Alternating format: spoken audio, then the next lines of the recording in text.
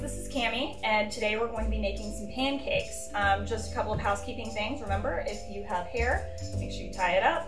And then hands washed. Also, if you have any watches, jewelry, make sure to take those off. Um, so how we're gonna do this is I like to separate my dry ingredients and my wet ingredients personally, but you don't have to do that. You can just use one bowl, it's fine.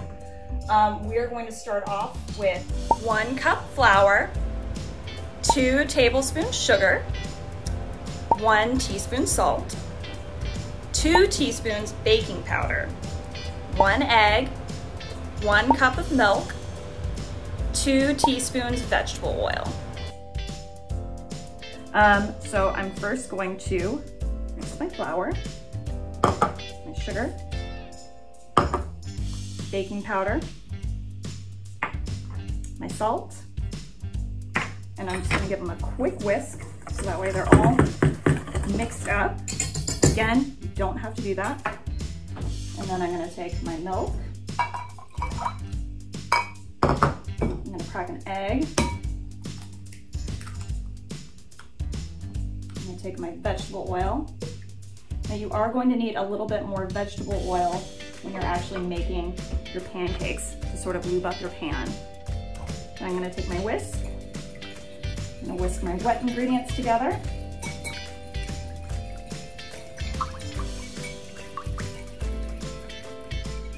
All right, and then once they're mixed up, make sure that yolk is broken. And then I'm just gonna dump it in with my flour and sugar, baking powder, salt, mix it all together. You're gonna get a nice, thick batter.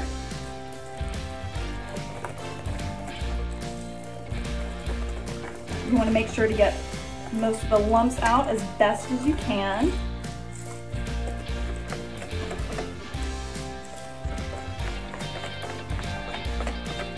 All right, and then once you've got it smoothed out, remove your whisk. All right, now two things you're going to need, spatula, to make sure you can flip your pancakes. And then I like to use a half cup uh, measure and I like my pancakes a little smaller because that way they're easier to flip. But if you like a big pancake, go for it. You could probably use a one cup or just eyeball it. This seems like something that needs an adult. I'm an adult. All right, now we're gonna go ahead and preheat the pan a little bit. We're gonna put this on medium heat. There we go. And then I'm gonna add just a little bit of olive oil personally, but you can use anything. You can use butter, um, you can use um, canola oil, whatever you want, whatever you have around. It is important for pancakes make sure they don't stick. Make sure you give a pretty generous amount. So once your pan is preheated, and you can tell um, if your oil moves around really freely or your melted butter. Um, so what I'm gonna do is I'm going to get my pancake batter. And like I said, I'm gonna make smaller ones, so I'm using a half cup measure. And whoop, I'm just gonna pour that into the pan. Okay. Now, what you're gonna do is you're gonna let it sit a little bit and you can tell when pancakes are ready to be flipped because there should be some little bubbles forming around the outside and that's when you know it's about time to flip. So make sure you give it some time. All right, now you see how this is getting really bubbly on the outside and you can see it getting sort of firm.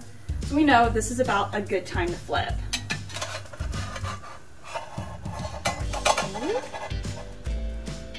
There we go. You make a mess. See this nice golden brown? It's kind of what we're looking for. And if you like your pancakes a little bit darker, you can always flip it back over and let it cook a little bit longer. That's gonna be a really fluffy pancake. All right, I think our pancake is ready. I'm gonna give it one flip just to make sure. So that way you can see, look at that beautiful bottom. Got a nice brown. The other side just take a second and then put it on my plate. Okay. Now, you have one beautiful pancake. I'm gonna go ahead and make the rest of these. Um, you should, with the half cup, get about three or four pancakes. And again, you can make them as big as small as you want. This is a, this is a nice medium-sized pancake. You could just go ahead and fill up the pan if you want a really big pancake, um, or you can make them really small, kind of like silver dollar pancakes. Right, enjoy. All right, guys, here is the finished product. Four beautiful pancakes. You can use anything you want to top these. I'm gonna use some syrup, but you can always use jam. If you wanna make a glaze with some powdered sugar and water or milk, you can do that as well. And bon appetit, guys.